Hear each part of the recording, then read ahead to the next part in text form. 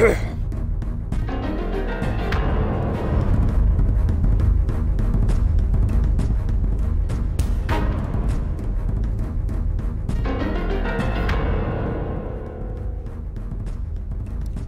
मैं अश्विनी कुमार। इस बार मौसम के पंडितों ने कह दिया है कि बारिश को लेकर उम्मीद ना रखे तो बेहतर होगा। इस बीच हज़ारों ख्वाहिशें रखने वाले हर किसी का दम निकलने लगा है। सब परेशान हैं। कोई गूगल बाबा से जवाब माँगता है तो कोई जवाब तलाशने में लगा है। हर किसी की जुगत है कि बस किसी तरह से बारिश हो जाए। ऐसा नहीं हुआ तो फिर महँगाई पानी बिजली और इसके साइड इफ़ेक्ट सबको झेलने पड़ेंगे। फ़िलहाल इंद्र राजा पानी दो की गुहार सब लगा रहे हैं और हम भी आज बिग फाइट में इसी पर बात करेंगे।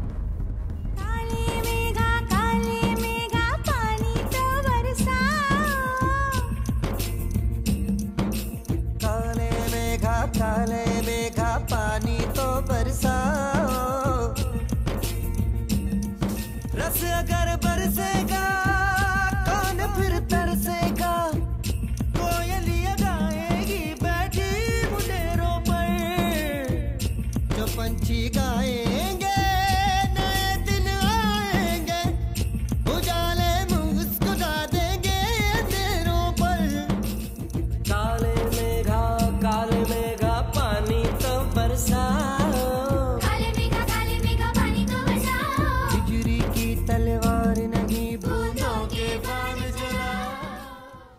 और इस मसले पर चर्चा के लिए आज हमारे साथ स्टूडियो में मौजूद हैं बीजेपी नेता शंकर अग्रवाल जी कांग्रेस से सुशील शर्मा जी कृषि विभाग के डिप्टी डायरेक्टर बी आर कड़वा जी और वरिष्ठ पत्रकार Om Saini ji My government is alert about the possibility of a subnormal monsoon this year, and contingency plans are being prepared. Containing food inflation will be the topmost priority for my government. There would be an emphasis on improving the supply side of various agro and agro-based products. Organic खेत उत्पादन की बहुत बड़ी मांग है और इसलिए क्या कभी हम सपना नहीं दे सकते कि हमारा पूरा नॉर्थ ईस्ट ऑर्गेनिक स्टेट के रूप में हम कैसे उभार सकें? और पूरे नॉर्थ ईस्ट को ऑर्गेनिक स्टेट के रूप में हम उभारें और विश्व के मार्केट को कब्जा करने के लिए भारत सरकार की तरफ़ से उनको मदद मिले। शंकर जी, शुरुआत में आपसे करना चाहूँगा। राष्ट्रपति जी ने अभिभाषण दिया, ज़िक्र किया, खाद्य पदार्थों में महँगाई का, मोदी ने कहा कि किस तरह से खाद्य उत्पादन को बढ़ाया जा सकता है। इसके बाद आज सीएस की अगुवाई में प्रदेश में भी इस बारे में मंथन शुरू हो गया कि अगर कमज़ोर मानसून हुआ तो किस तरह से हालात पर निपटा जाए। क्या तैयारी है सरकार की? देखिए, सरकार की तैयारी तो आपने अखबारों में भी देखी है और बातचीत भी चल रही है कि सभी कलेक्टर्स को कंटीजेंस फंड दिए हैं। और इसके अलावा तो अब मैं ये जो बार बार में जो बात आ रही है ना कि मानसून कम होगा, बरसात कम होगी तो ये सब लोग आपस में अपन बैठ करके चर्चा करेंगे, भगवान ठीक करेगा। अब ये तो ये संभावनाएँ हैं कि भाई कम होगी, हो सकता है ज़्यादा भी हो जाए। तो इसलिए कलेक्टर्स को कंटीजेंट फंड दिया है कलेक्टर्स को आवश्यक निर्देश दिए हैं सरकार ने और सरकार अपने लेवल पे जो कुछ भी करेगी, वो यथासंभव पूरा प्रयास करेगी। पर जो भगवान की जो प्राकृतिक लीला होती है ना, उसके सामने मैंने अमेरिका और सारे दूसरे देशों का भी सारी इकोनॉमी देखी है, वो सारी इकोनॉमी डिस्टर्ब होती है और हमेशा ही होती आई है, उसके इफ़ेक्ट निश्चित रूप से कुछ न कुछ प्रभाव पड़ते ही हैं। सारा कुछ ठीक होने के बाद में फ़सल पूरी अच्छी तरह से लहला रही है खेत में और किसान सोचता है कि मैं दो तीन दिन, पाँच दिन में, दस दिन में फ़सल काट करके तैयार कर लूँगा और उस स्टेज के ऊपर एकदम से ओढ़े पड़ जाते हैं। तो जो मदद करने वाला होता है वो तो जो उसी तरह से मदद करती है सरकार के। भाई जैसे मान लो कोई बेटी की शादी हो गई और होने के बाद में अगर वो कभी आती है तो उसको कोई एक शंकर जी इतना आपने जितना कुछ बताया उसमें एक ज़िक्र करना चाहूँगा खाद्य पदार्थों की महँगाई का। खासतौर पर आज जो बाज़ार चिंतित है कोई आम आदमी जिस बात को लेकर चिंतित है वो है खाद्य पदार्थों में महँगाई का। उसको लेकर क्या कहना चाहेंगे क्या तैयारी? देखिए निश्चित रूप से कोई ना कोई प्रभाव ज़रूर आता है। पर मेरा मानना ये है, पिछले जो पाँच सात साल में एक ट्रेंड देखा है कि खाद्यान्न की देश में कमी नहीं है। पूरे एफसीआई के गोडाउन भरे पड़े हैं। केवल मैनेजमेंट की कमी है कि वो ठीक से लोगों के सामने पैसा 2012-13 में तिहत्तर करोड़ रुपए का जो है खाद्य तेल आयात किया था भारत ने। मैंने कहा ना तो सरकार अपने लेवल पे जो भी जितनी आवश्यकता होती पूर्ति करती है ना। सरकार वो आयात किया तो इसीलिए किया ना कि भाई अपने यहाँ पर इतने तेल की इतनी कंजम्पशन आएगी और इतनी आवश्यकता चलिए है। इसका समाधान कैसे हो सकता है इस पर बात करूँगा मैं आपके पास आऊँगा उससे पहले। सुशील जी आज जो सरकार की तैयारी है जिस स्तर पर मंथन शुरू हुआ है क्या लगता है देर से हुआ है या वक्त पर है? और अगर है तो फिर क्या जिस स्तर पर विचार की बात अभी शंकर जी ने कही वो ठीक है? देखिए जो सरकार ने चिंता की है राजस्थान पशुपालन और कृषि आधारित स्टेट है बहुत बड़ा स्टेट है बरसात पे पूरा इसका अ, सारा सिस्टम चलता है।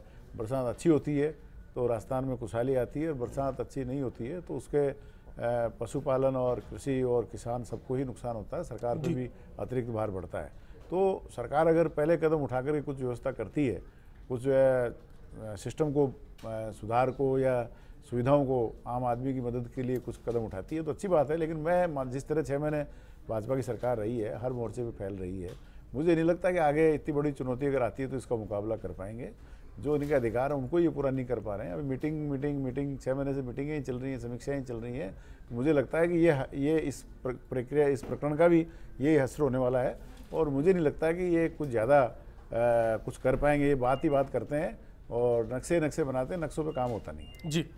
खड़ो साहब खेती को लेकर तो आपसे बेहतर अभी हमारे बीच में कोई नहीं जानता। पूरे देश की अगर बात की जाए 60 फ़ीसदी भाग ऐसा है जिस पर खेती मानसून को लेकर डिपेंडेंट है और राजस्थान तो लगभग सारा का सारा मानसून को लेकर डिपेंडेंट होता है। आपको नहीं लगता कि अब वो वक्त है जहाँ तैयारियाँ की जानी चाहिए और मुकम्मल तैयारियों का वक्त है? क्योंकि मानसून अगर देरी से आया तो उसके बाद असर काफ़ी कुछ नकारात्मक होंगे। अभी देखा जाए तो मानसून की अपन देरी नहीं कह सकते। जब तक 15 जुलाई तक बरसात हो जाती है जी। तब तक अपन लेट नहीं कर सकते। और जिस हिसाब से देखा जाए अभी जो तैयारियाँ हैं विभाग की तैयारियाँ भी जैसे बता रहे थे शंकर जी विभाग की तैयारियाँ भी पूरी है और हम हर प्रकार की स्थिति से निपटने के लिए आज तैयार है क्योंकि आज प्रकार इस प्रकार की किस्में या वेराइटीज आ गई जो कम समय में पक करके भी अच्छा उत्पादन दे सकती है।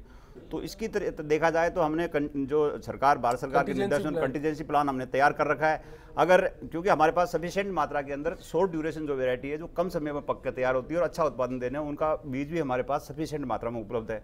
तो इस प्रकार की तैयारियाँ करके रखा है। ऐसा नहीं कह सकते कि किसी प्रकार की खाद्य खाद्य अब ये तैयारियाँ जब मुकम्मल वक्त आता है क्यों धरी रह जाती है? इस पर मैं बात करूँगा कि किस तरह से बीज वितरण होता है और बीज वितरण किसानों तक नहीं पहुँच पाता। ओम सैनी जी। जिन तैयारियों का ज़िक्र हम कर रहे हैं जिस स्तर पर बात होती है आपने लंबे समय से देखा है कई ऐसे वक्त आए हैं जब राजस्थान ने अकाल झेल- है। अल नीनो की बात की जाए उन्नीस सौ सत्तानवे में जो हमने देखा वो तस्वीर हमारे सामने थी। क्या सरकार ने उस वक्त भी तैयारियाँ की थी?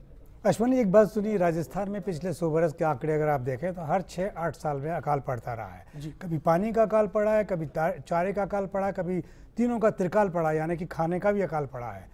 तो ऐसी स्थिति में राजस्थान की सरकारें सुखाड़िया साहब के ज़माने से जब कांग्रेस की गवर्नमेंट हुआ करती थी तब से ही अकाल का प्रबंधन करने का सिलसिला करने लगी हैं। ये कोई नई बात नहीं है। शंकर जी और सुशील जी या ये लोग इसकी चर्चा नहीं कर रहे लेकिन ये बड़ा महत्वपूर्ण है कि राजस्थान में हमेशा इस बात के लिए तैयारी रखी जाती है कि अकाल का मुकाबला कैसे किया जाए। और पिछली सरकारों ने गहलोत जी की सरकार ने ही अकाल प्रबंधन के लिए अपनी बड़ी चर्चा करवाई है पूरे हिंदुस्तान के अंदर। तो वसुंधरा जी की सरकार भी करवाने के लिए तत्पर होगी लेकिन ये तय है कि अकाल तो आता है। हर छः आठ साल बाद में राजस्थान का ज़्यादातर हिस्सा सूखे का शिकार होता है या फिर अ, क्या कहना चाहिए चारा चारे की कमी का शिकार होता है। तो ये तो करना ही पड़ता है।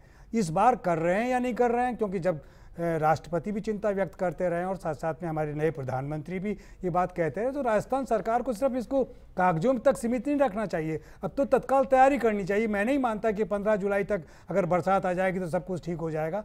आपके पास में न गोडाउन है आपका जो अनाज पैदा किया हुआ है वो गंगानगर के अंदर ओले पड़े तो सब कुछ सड़ने की स्थिति में आना भीग गया सारा का सारा। तो गोडाउन्स का सिलसिला मैनेज किया जाना चाहिए जो कुछ है उसको बचा के रखना चाहिए और साथ साथ में आने वाले वक्त में पशुओं के लिए क्या किया जा सकता है? डिस्ट्रीब्यूशन कैसा होना चाहिए? बीज कैसे लोगों को मिलेंगे? इन सब की तैयारी तत्काल होनी चाहिए। और फिर कैडर बेस्ड पार्टी का शासन है राजस्थान में इस वक्त। तो सब कुछ बड़े आराम से हो सकता है। सुशील जी की पार्टी के साथ में तो प्रॉब्लम ये थी कि ये तो सब कुछ नौकरशाहों पर निर्भर करते थे। इनके पास में कार्यकर्ता वैसे थे नहीं। इनके पास में ये प्रॉब्लम है नहीं। तो मेरा ख्याल है कि ये मुकाबला कर सकेंगे ठीक से। जी। अब शंकर जी, मैं फिर आपके पास लौटता हूँ। ये जितनी भी चीज़ें हैं, जितनी भी तैयारियों को लेकर मुद्दे हैं, बातें हैं, बिंदु हैं, इन पर कैसे काम किया जाएगा? क्योंकि सवाल महँगाई का है, महँगाई से निपटे निपटने का काम कैसा होगा? कैसे बिचौलियों से निपटा जाएगा? कैसे जमा खोरों से निपटा जाएगा? देखिए, ये तो कल प्रधानमंत्री जी ने अपने भाषण में भी साफ़ साफ़ कहा है कि महँगाई कम करना हमारी प्राथमिकता है और उसके लिए सरकार अब वो देश की जनता बहुत ज़्यादा दिन इंतज़ार नहीं करेगी। ये उनके मन में है पूरी की पूरी बात और उन्होंने एक पूरा रोड मैप भी कल अपने डे एक सवा घंटा के भाषण में पूरी बातें उन्होंने कही है। जैसे एग्रीकल्चर के बारे में उन्होंने कहा कि भाई सॉइल टेस्ट करके और सब किसानों को कार्ड देने की बात कही है। इसी तरह से महँगाई के बारे में उन्होंने कहा, हमारे गोडाउन भरे पड़े हैं एफसीआई के और गोडाउंस का हम और आगे एक्सपांशन करेंगे कि खेत के पास ही राजस्थान के संदर्भ में बताइए ना दिल्ली की बात तो छोड़ दीजिए राजस्थान में क्या करेंगे? राजस्थान में कहाँ राजस्थान गोडाउन भर पड़े राजस्थान में सरकार पूरी तरह से चिंतित है और निश्चित चिंतित नहीं समाधान की बात बताइए कि समाधान कैसे करेंगे? समाधान तो जब अब अभी तो स्थिति बिल्कुल पैदा हो रही है। आज चर्चा आज हुई है। समाधान तो दो चार दिन पाँच दिन में जब ये बैठकें होगी उसमें बातचीत आएगी आज नहीं ये आज आप सोचिए राष्ट्रपति के अभिभाषण में ज़िक्र होता है इसका मतलब है कि कहीं ना कहीं इस बात को लेकर चर्चाएँ पहले से है। अप्रैल के बीच में अल नीनो का ज़िक्र हो चुका था कि राजस्थान में सबसे ज़्यादा इसका असर professor, हो सकता है संभावित है लेकिन क्या संभावनाओं पर लेकर सरकार को अलर्ट नहीं होना चाहिए? क्या ये वक्त है अब? नहीं सरकार बिल्कुल तर, पूरी तरह से अलर्ट है। पहली बात मैं दूसरी एक बात आपको और कहना चाहता हूँ कि राजस्थान वैसे भी सूखा कहाँ अलर्ट है जनाब? आज दाल के भाव में भी पाँच से दस रुपए का फ़र्क आ गया पिछले एक हफ़्ते में। नहीं वो वो जहाँ तक कर्से की बात की तो जाए जैसे आप फरमा रहे हैं ऐसी कोई आज हमारे राजस्थान के अंदर आठ लाख क्विंटल बीज की ज़रूरत होती है हमारे पास में दस लाख क्विंटल बीज उपलब्ध है अभी तो इस प्रकार अपन नहीं कह सकते कि राजस्थान सरकार के पास इसके तैयारी अलावा मैं आपको कहता हूँ महँगाई का जो मसला है उस पर क्या कर रही है? आपका कृषि विपणन बोर्ड क्या कर रहा है? सब्ज़ियाँ वैसे की वैसे महँगी हो रही हैं ये सब चीज़ें उनका जवाब तो दें कोई। नहीं बिल्कुल। और नहीं बीज है तो बीज का वितरण क्या ठीक है कृषि विभाग ने बीज तैयार कर दिया लेकिन उसके वितरण की जो व्यवस्था है उसका भी सवाल खड़ा होता है कि किसान तक कैसे लिए बिल्कुल बाकायदा रोड मैप बना हुआ है। ऐसा नहीं कह सकते कि एक दिन वितरित होता है हर ये हर डिस्ट्रिक्ट लेवल से ब्लॉक लेवल के ऊपर बीज उपलब्ध है तो ऐसा नहीं कह सकते कि अपने अभी व्यवस्था करेंगे। व्यवस्था ऑलरेडी चल रही है। और सरकार पूरी तरह से गंभीर है। राज्य स्तर पर लेवल मुख्यमंत्री लेवल पर और कृषि मंत्री लेवल पर कई मीटिंगें हो चुकी है उसमें पूरा रोड मैप तैयार है। तो ऐसा अपन नहीं कह सकते कि तैयारी अपने पास में नहीं है। चलिए रो, रोड मैप कितना कारगर होगा सरकार की तैयारियाँ कितनी कारगर होगी इस पर बात करेंगे। वक्त एक ब्रेक का कुछ ही पलों में लौटते हैं। गर्मी बहुत ज़्यादा पड़ रही है और अगर मानसून और भी कमज़ोर रहता है तो बहुत विकट हालात हो जाएँगे। महँगाई बढ़ने के भी पूरे पूरे आसार लगते हैं मुझे। तो देश की अर्थव्यवस्था में बहुत इसका फ़र्क पड़ता है। पैदावार कम होती है, महँगाई बढ़ती है, पर्यावरण पर फ़र्क पड़ता है। निश्चित रूप से मानसून जो है, वो देश की एक एक चीज़ के ऊपर उसके ऊपर इनडायरेक्ट डायरेक्टली मानसून उससे जुड़ा हुआ है। तो अगर मानसून कम रहता है तो वास्तव में बहुत बड़ा चिंता का विषय है। मानसून की हाँ ऑब्वियसली इसने परेशान किया और हर हर वर्ग को परेशान किया और हद से ज़्यादा परेशान किया है। सबसे बड़ा ये कारण इसका ग्लोबल वार्मिंग है क्योंकि ना तो बारिश हो पा रही है ढंग से atmosphere time to time change हो रहा है। एक दिन में बारिश भी हो रही है धूप भी पड़ रही है और उस दिन सर्दी भी हो रही है। तो सबसे बड़ा कारण इसका एटमोसफेयर का चेंज होना हो रहा है। मेघा काले मेघा पानी तो बरसाओ। पानी तो बरसाओ। बिजली की तलवार नहीं बूंदों के पान चलाओ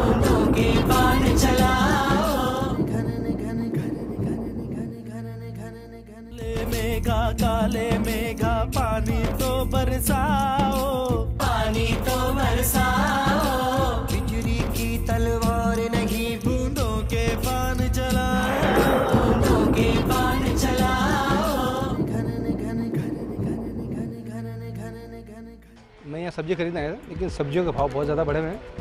मीडिया से मुझे मालूम पड़ा है कि जैसे मानसून की मार थोड़ी पड़ेगी उस वजह से सब्जियों में और महँगाई बहुत ज़्यादा बढ़ रही है। मैं चाहता हूँ कि सरकार को इसके लिए प्रयास करने चाहिए। कि बेरों के कारण इस पर जो महँगाई बढ़ रही है इससे अब पूरी प्रजा त्रस्त है और जितने भी मध्यम वर्ग और निम्न वर्ग के लोग हैं इस मतलब वो अपन को दो टाइम एक टाइम का खाना भी उनके लिए नसीब नहीं हो पा मानसून की जो आज खबर आई है उससे खाद्य सामग्री पे बहुत असर पड़ेगा। उसका असर पहला तो ये पड़ेगा कि जो खाद्यान्न में जो जल्दी आना था, उससे लेट होगा। किसान को बोने में टाइम लगेगा और आगे उसको खाद्यान्न अपने टाइम पीरियड से लेट आएँगे। पहले ही खाद्यान्नों की कमी हो रही है और उसके बाद में बारिश नहीं पड़ेगी। बारिश नहीं आने के कारण उससे क्या है? सब्ज़ियाँ भी महँगी हो जाएँगी।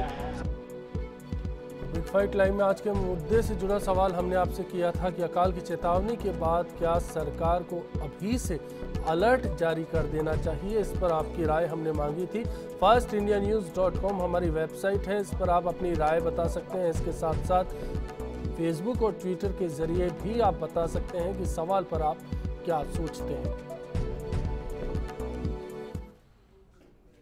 ओम सैनी जी, जिस तरह का ज़िक्र किया जा रहा है, अभी जिस तरह की तस्वीर बताई जा रही है, लेकिन रघुराम राजन है, वो कहते हैं कि अगर पाँच फ़ीसदी खाद्य पदार्थों की महँगाई बढ़ती है तो जो उपभोक्ता मूल्य सूचकांक है कंज्यूमर प्राइस है इंडेक्स है सीपीआई वो सीधा 250 परसेंट बढ़ जाता है। इसका असर सीधा सीधा हमारी मुद्रास्फीति पर देखा जाता है।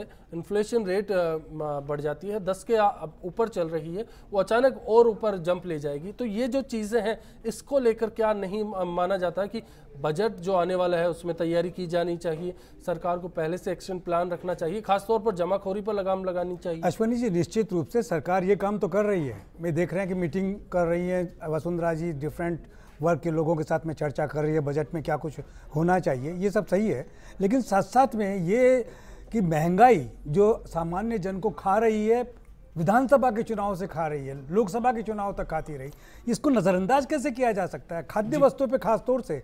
और इनके पास में एक ऑर्गेनाइजेशन है कृषि विपणन बोर्ड है जो काफ़ी कुछ रोक सकता है। डिस्ट्रीब्यूशन का सिस्टम है जिसको कि अगर चैनलाइज करें तो बेहतर तरीके से डिस्ट्रीब्यूट हो सकता है। अभी बता रहे थे कि साहब वो चना बहुत सस्ता मिल रहा है लेकिन मिल कहाँ रहा है?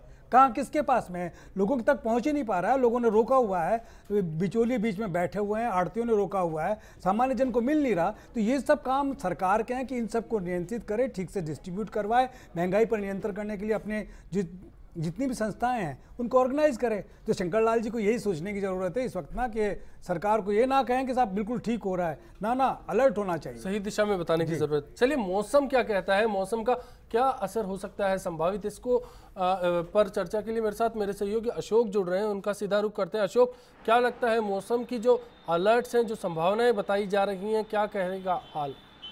अश्वनी जहाँ तक भारतीय मौसम विज्ञान विभाग की बात करें यानी मानसून को लेकर के जो पूर्वानुमान जिस तरह बताए जा रहे हैं जहाँ तिरानवे प्रतिशत की बात कही जा रही है यानी सामान्य से कम मानसून की बात सामने आई थी। तो अश्वनी अगर हम इतिहास की बात करें और राजस्थान के परिदृश्य के बारे में तो जब जब सामान्य से कम मानसून की बात की जाती रही है तो राजस्थान में सामान्य से अधिक वर्षा हुई है। तो सरकार के अपनी जगह जो सोच है कहीं ना कहीं जो आपदा राहत के हिसाब से जो अगर सूखे की आशंका के हिसाब से जो तैयारियाँ की जा रही हैं वो एक अलग चीज़ है। लेकिन अभी कहना बहुत ज़्यादा जल्दबाजी होगी कि राजस्थान में सूखा पड़ने वाला है या मानसून जिस तरह से अभी फ़िलहाल कमज़ोर पड़ा है तो ये कहा जा सकता है कि अभी बहुत ज़्यादा जल्दबाजी है। अभी और थोड़ा इंतज़ार करना चाहिए। आवश्यक नहीं है कि कहीं ना कहीं राजस्थान में सूखा ही पड़े या हालात बहुत ज़्यादा विकट हो जाएँ। सरकार की तैयारी अपनी जगह ठीक है लेकिन अभी हालात इस कदर विकट नहीं है। फ़िलहाल अभी एक उम्मीद बाकी है और हमें शायद उसका इंतज़ार करना होगा अशोक जी जी, शुक्रिया अशोक इस चर्चा में जुड़ने के लिए। कड़ो साहब आरबीआई कहता है कि आमतौर पर महँगाई को लेकर धारणा जो होती है लोगों के बीच में, वो उसको इन्फ्लेशन रेट को सीधा बढ़ा देती है। तो इस धारणा पर जो है, रघुराम राजन खुद मानते हैं कि ये लोगों के बीच महँगाई को लेकर जो धारणा है, उस पर काबू करना मुश्किल है। अगर ये धारणा अभी से घर करने लगी तो इस संभावनाओं को लेकर क्या तैयारियाँ हो सकती है? आपकी महकमे की ओर से? जहाँ तक कृषि उत्पादन की बात है अपन देखा जाए तो राजस्थान में करीब एक सौ पैंसठ लाख हेक्टेयर के अंदर खरीफ की- फ़सल होती है। इसके अंदर मोर देन 50 परसेंट जैसे सैनी जी कह रहे थे यहाँ पर रेनफेड है। किंतु इसके साथ साथ आजकल क्या हो गया सरकार के द्वारा जैसे माइक्रो इरिगेशन इस प्रकार के डिवाइसेज उत्पन्न हो गए जिससे काश्तकार जो आपके कंटीजेंसी प्लान के रूप में उनको लाइफ सेविंग इरिगेशन देकर के भी फ़सल कर सकता है। वो रही अलग बात। आजकल वैज्ञानिकों ने इस प्रकार की किस्में ईजाद कर दी जो कम समय के अंदर भी पकड़ के अच्छा उत्पादन दे सकती है। तो सबसे बड़ा आजकल जो हमारे पास, जैसे अपन पुरानी बात करें, आज से 20 साल पहले अकाल की बात करें, उस समय हमारे पास ऐसी किस्में नहीं थी। जिसका अच्छा उत्पादन आज बाजरे के अंदर H H B sixty seven नाम की एक किस्म आती है जो पैंसठ दिन के अंदर पकड़ के अच्छा उत्पादन दे सकती है। तो इस प्रकार की जो किस्में जो सरकार के द्वारा या वैज्ञानिकों के द्वारा जो ईजाद की गई है उन सब का फ़ायदा लेकर के हम अकाल को एक प्रकार से डिफीट कर सकते हैं। जो आप जैसे आप कह रहे हैं जो नॉर्मल प्रोडक्शन होना चाहिए वो तो नहीं होता है किंतु फिर भी इस प्रकार की आज अपने पास में डिवाइसेज उपलब्ध है इस प्रकार की अपने पास सुविधाएँ उपलब्ध है जिसके अनुसार अपने अच्छा उत्पादन आज ले सकते हैं। और जहाँ तक रही चारे की बात में चारे के लिए भी जैसे राजस्थान के अंदर जैसा एक सूखा प्रदेश है। जहाँ कृषि उत्पादन के साथ साथ में चारा उत्पादन भी ज़रूरी है क्योंकि पशुपालन जो पशुपालक है वही काश्तकार अ, खेती भी करता है और पशुपालन भी करता है। तो उसके लिए भी हमने इस प्रकार की आजकल जो वेराइटीज उत्पन्न होगी चारे की जो मल्टी कट वेराइटीज होती है या कम पानी में पकने वाली है तो इन सब की व्यवस्थाएँ हैं सरकारी स्तर पर की जा चुकी है। और अगर रेनफॉल ला- रेनफॉल मैं- होता है तो उसका ज़रूर नुकसान होगा ये बात तो सही है। ये आपके महकमे से तैयारी है। सुशील जी जी। बीसलपुर में अड़तीस दशमलव पाँच टीएमसी पानी होना चाहिए। अभी 18 के आसपास है। ये जो पानी का स्तर है पानी की सप्लाई का मामला है इस तरह की जो तैयारियाँ हैं खासतौर पर पानी आप कहीं से ला नहीं सकते आपकी जो वाटर रिसोर्सेज हैं उनमें पानी लिमिटेड है। जिन तैयारियों का ज़िक्र किया कड़वा साहब ने वो तैयारियों के साथ साथ पानी तो आपको चाहिए चाहिए। पीने के लिए चाहिए रोज़मर्रा के कामों के लिए चाहिए। उसको लेकर उस लेवल पे भी क्या नहीं लगता कि तैयारियों पर बात होनी चाहिए अब? वर्तमान में जो स्थिति है राजस्थान में जगह जगह पानी को लेकर के घेराव हो रहे हैं बिजली की समस्या को लेकर के घेराव हो रहे हैं। जो हालात अभी वर्तमान में चल रही है ये इससे ऐसा लगता है कि अगर ये हालात बिगड़े तो बहुत ही चिंताजनक स्थिति हो जाएगी। गहलोत सरकार ने 86, 87, 88 में जो अकाल पड़ा था उसका बेहतर प्रबंधन किया था और मैं भी वहाँ बाली में एक विधानसभा क्षेत्र का इंचार्ज था मैंने भी उनके साथ काम किया था। तो सैनी साहब ने कहा कि बस टीम वाली बात नहीं कांग्रेस पास सब कुछ है टीम भी है सब सारे प्रबंधन अनुभव भी है। लेकिन हम ये चाहते हैं कि राजस्थान की जो सरकार है एक सबक ले और सबको साथ लेकर के सभी दलों को बुला करके बात अभी करे। क्या स्थिति लगती है? और अभी जो स्थिति है ये अभी तो मुझे जो नहीं लगता कि जिस तरह की बातें चल रही है सिर्फ़ बातें ही चल रही हैं। मजदूरों को रोज़गार की व्यवस्था करनी पड़ेगी पशुओं के लिए चारे की व्यवस्था करनी पड़ेगी पानी की व्यवस्था करनी पड़ेगी बिजली की व्यवस्था करनी पड़ेगी अनाज की व्यवस्था करनी पड़ेगी। जो सारा मैनेजमेंट जो है अकाल का वो इतने बड़े प्रदेश में अपने आप में एक चुनौतीपूर्ण काम है और मैं मानता हूँ कि इसमें सभी को दलों को मिलकर के और सभी लोगों को मिलकर के काम करना होगा तभी जाकर के हम इस पर मार पाएँगे। लेकिन मुझे नहीं लगता कि प्रशासन आज छह महीने में जो चला है उसमें कुछ सुशील जी के इसी बात को आगे बढ़ाता हो आपके पास आता हूँ। सरकार बीकानेर दौरे पर जाने की तैयारी कर रही है। सरकार में कैबिनेट विस्तार को लेकर चर्चाएँ बहुत तेज है। सरकार में साठ दिन की कार्य योजना के बाद फीडबैक का काम चल रहा है। ऐसे, इस बीच में नहीं लगता कि ये एक और ऐसा काम है जो अभी सरकार में उस रफ्तार से नहीं होना चाहिए, क्योंकि ये तीनों काम ऐसे हैं जो दिख रहे हैं कि सामने किए जाने चाहिए। और एक को लेकर तो आपकी पार्टी पर, सरकार पर सवाल भी खड़े होने लगे हैं। साठ दिन में कार्य योजना जो भी थी, उसका प्रोजेक्ट सामने नहीं आया। देखिए मैं आपकी बात का जवाब देने से पहले दो बातें आपको पहले करना चाहता हूँ कि मानसून और महँगाई ये दोनों विषय ऐसे हैं कि ये केंद्र सरकार से जुड़े हुए हैं। और जहाँ तक केंद्र सरकार की बात है राज्य को इसके लिए जिम्मेदार नहीं मानते नहीं, नहीं, नहीं जिम्मेदार मानते हैं मैं बता रहा हूँ ना आपकी बात पे आ रहा हूँ मैं। 26 तारीख को 26 मई को नरेंद्र मोदी जी ने शपथ ली है। और अभी 26 जून हुआ नहीं है। उससे पहले आप सारी एक्सपेक्टेशन करो कि केंद्र महँगाई घटा दे और राज्य सरकार महँगाई घटा दे। अपना पूरा का पूरा रोड मैप नहीं तो आप, नहीं तो आप एक भी विषय पे कंट्रोल नहीं कर पाए जिस तरह चीरण हो रहे हैं बालिकाओं के साथ बलात्कार हो रहे हैं खुद मुख्यमंत्री के ज़िले में हो रहे हैं मुख्यमंत्री की कॉन्स्टिटेंसी में हो रहे हैं। आप तो एक छोटा सा उदाहरण है एक विषय है जिसपे सरकार का जो है इकबाल जो है खत्म होता जा रहा है। तो सरकार का कोई असर नहीं है। पुलिस प्रशासन का कोई असर नहीं है। तो ये तो एक छोटा सा है जो कानून व्यवस्था का मामला है एक बहुत बड़ी चुनौती बनता जा रहा है। और जब ये व्यवस्थाएँ फैलेंगी तो उसके बाद क्या होगा? सुशील जी ऐसा है कि आप भी जानते हो इस बात को आपका धर्म है क्योंकि कांग्रेस से आए हो आप इसलिए आपको ये बातें कहनी है। धर्म आपकी जगह तो मैं भी कहता।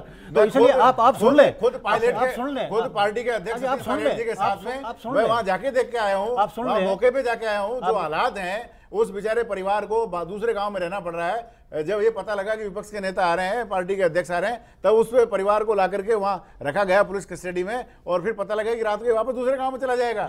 जब राजस्थान में मुख्यमंत्री के एरिया में चार साल की बच्ची के साथ में ये हो रहा है, चौदह साल की बच्ची के साथ में रैप हो रहा है, उसका गला घोट के उसको मारा जा रहा है उसके चेहरे को बदरूप किया ऐसा जा रहा है ऐसा है। और पिछले मुख्यमंत्री पिछले पिछले पिछले पाँच साल में तो कोई अपराध नहीं हुआ ना। जोधपुर में वहाँ जेलर की हत्या कर साल दी में क्या हुआ? जेलर की हत्या कर दी पिछले।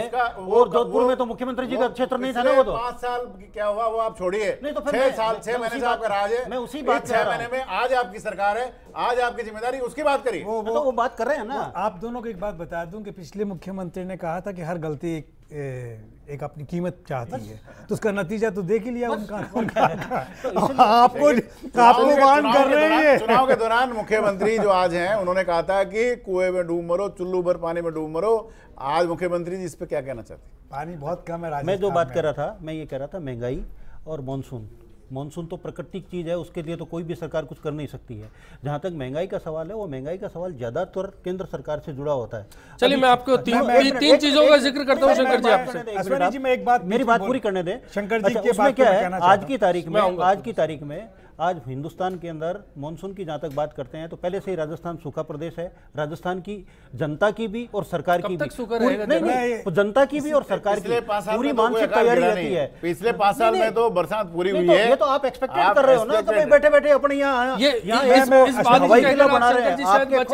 क्या जनता मानसिक रूप से तैयार रहती है? क्या इसको मान लिया जाए? इस पे आधार आपके काम कर खुद लिया के जाए? आपके खुद के रिपोर्टर ने ये कहा है कि अभी तो ये कहना बहुत जल्दबाजी है और इसमें मैं आप ही केवल आप ही मुद्दे पे चर्चा कर रहे हैं अपन। तैयारियों की बात कर रहे हैं कि सरकार को क्या अपने ज़िम्मेदारी से ऐसा कह के बच जाना चाहिए? मैं- ओम जी आप क्या मैं- कहेंगे? मैं ये कहना चाहता हूँ कि राजस्थान विश्वविद्यालय के ज्योग्राफी विभाग ने एच एस शर्मा प्रोफेसर ने राजस्थान के सौ साल के अकालों का अध्ययन किया।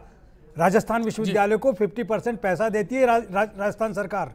उसने पूरा ये बताया कि कैसे प्रबंधन होना चाहिए कैसे बचाव हो सकता है। आप उसकी चर्चा ही नहीं कर रहे हैं। आपने उसको कहीं इंप्लीमेंट ही नहीं किया। आप कहते हैं कि पहले पहले से ही किया जाता है सब कुछ ना? मानसून नहीं आएगा तो क्या कर सकते हैं? एक्सपेक्टेशन क्या है? वो देखिए, जो रिपोर्टर्स आप गए हैं, उनको जो मौसम वैज्ञानिक ने बोल दिया, वही बोल रहे हैं। उस उनके पास में वो आंकड़ा नहीं है जो हम बता रहे हैं कि लेकिन फिर भी मौसम वैज्ञानिक कहता है कि सामान्य से कम रहेगी बारिश। ये तो मान ही रहे फ़सलों की तो ऐसी स्थिति में छोड़ा नहीं जा सकता उसके ऊपर तत्काल काम करने की ज़रूरत है। और इसका ये नहीं है कि इस पर काम हुआ नहीं है। प्रबंधन कैसे होना चाहिए पिछला अनुभव भी है और अभी उसको इस्तेमाल किया जा सकता है कि कैसे प्रबंधन किया जाएगा। जी बिल्कुल एक समय अब आपने जो मुद्दा उठाया कि महँगाई केंद्र को लेकर है मैं तीन बातों का ज़िक्र करता हूँ। पहला बिचौलिया तंत्र। दूसरा फ़ूड ट्रांसपोर्टेशन और तीसरा जिसकी बात की जाएगी तो वह है वायदा कारोबार। क्या ये तीनों फैक्टर राज्य के स्तर पर कंट्रोल नहीं किए जा सकते? नहीं किए जा सकते बिल्कुल भी नहीं किए जा सकते। आपने ये देखा होगा कल प्रधानमंत्री जी ने दोनों चीज़ों चीज़ों की वायदा कारोबार नहीं वायदा कारोबार सरकार यहाँ राजस्थान सरकार बंद नहीं कर सकती और वायदा कारोबार केवल कंट्रोलिंग की बात कर नहीं कंट्रोल क्या करेगी? वो तो आप डब्बा लगा हुआ है उसके अंदर आप बटन दबा करके आप सौदा कर रहे हो आपको किसको कंट्रोल कर लेंगे?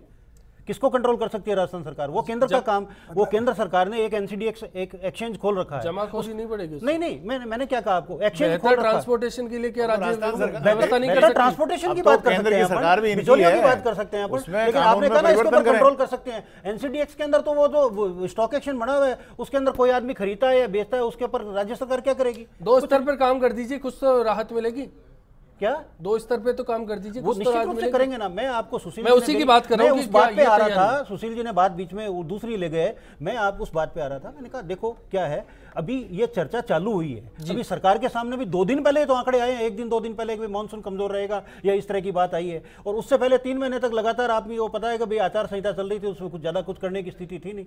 अब सरकार ने अपना काम चालू किया है बैठकें हो रही है सब ये बातें कर रहे हैं। निश्चित रूप से उसके अंदर आउटपुट आएगा। जैसे आउटपुट ये आया कि भाई कलेक्टर को कंटीजेंस फंड दिया दस दस लाख रुपए का कि भाई कहीं भी कोई पानी की व्यवस्था करनी हो या तत्काल कोई ज़रूरत हो वो कर दे। और उसमें मुख्यमंत्री जी ने साहब ने यह भी कहा है कि इसके अंदर कहीं भी आवश्यकता हो तो तुरंत मेरे से डायरेक्ट ईमेल करके मैं तुरंत आप उसको उसमें और भी बढ़ाने की करूँगी। तो पानी की व्यवस्था सुशील जी और ओम जी दोनों आपके पास होंगे। पहले दस लाख रुपए क्या एक ज़िले के लिए काफ़ी है सुशील जी? देखिए बिल्कुल अ, सही नहीं है। बहुत इनके टाइम में तो एक लाख रुपए दिया था। हमारे हमारे टाइम में तो अकाल ही लाख नहीं रुपए दिया था। हमारे यहाँ तो पाँच साल की बात नहीं अकाल गिरा ही नहीं। अकाल इनको तो सजा मिल गई। जो तो इतना बड़ा स्टेट है इतने बड़े ज़िले हैं उसमें दस लाख बिल्कुल ऊँट के मुँह में जीरे के समान तो है। उन्होंने ये भी कहा है और हमें कि इसके अलावा कहीं सरकार को इसमें और गंभीरता से तो काम करना चाहिए और बजट का प्रावधान करना चाहिए और को, को लागू करना चाहिए।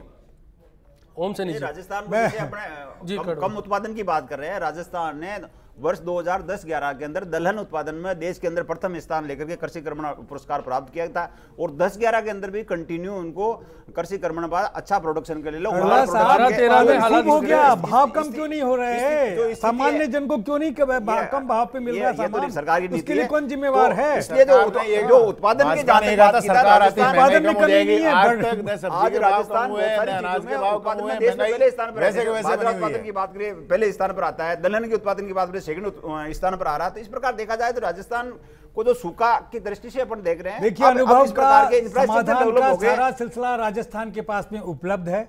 राजस्थान के विद्वानों ने इस पे काम किया है उसकी चर्चा ना करके उस पर अमल ना करके और अपनी बैठकें कर रहे हैं। बैठकों के अंदर ऐसे लोग नहीं हैं वही नौकरशाह हैं जिन्होंने कांग्रेस को डुबाया वही नौकरशाह हैं जो इनके साथ में वैसे ही उन पे भरोसा कर रहे हैं। जी ये अहम सवाल है कि क्या फिर प्रशासन को भी इस बीच मुस्तैद किया जाना चाहिए। ब्रेक के बाद बात करेंगे इसी मुद्दे पर कि क्या प्रशासन का क्या रोल हो सकता है अगर सरकार अलर्ट है तो। लगता है कि महँगाई पर बहुत ज़्यादा असर पड़ेगा क्योंकि मैं मानसून का कम होना मतलब अकाल पड़ना। अकाल पड़ने की वजह से खाद्यान्नों के अंदर कम होगी। खाद्यान्नों का मतलब कम हो, हो नहीं पाएगी तो उत्पादन। उत्पादन कम होगा तो सप्लाई कम होगी और डायरेक्ट असर डिमांड पे पड़ेगा। सरकार को ये सुझाव देना चाहूँगा कि महँगाई बढ़ने का सबसे पहला कारण है कि एक तो टाइम पे बारिश नहीं हो रही है और बारिश का सबसे पहले इम्पोर्टेंट कारण है कि वृक्षारोपण होना चाहिए पहले। अभी से महँगाई पे लगाम लगाने की ज़रूरत है। अभी से सरकार को मेजर्स लेने चाहिए क्योंकि जैसा कि कहा जा रहा है कि मानसून कम पड़ेगा और ऊपर से अनलिनों का इफ़ेक्ट की बात की जा रही है कि अगर अनलिनो बढ़ा तो उसके कारण मानसून में कमी आएगी। धान नहीं होगा तो मज़दूरों को कीमतें में बड़ी कीमतों में ख़रीदना पड़ेगा। जितने ही समाज में और हमारे यहाँ पे राजस्थान में जमाखोरी है और मंडियों में जाकर राजस्थान सरकार को चेक करना चाहिए। मेघा काले मेघा पानी तो बरसाओ। पानी तो बरसाओ।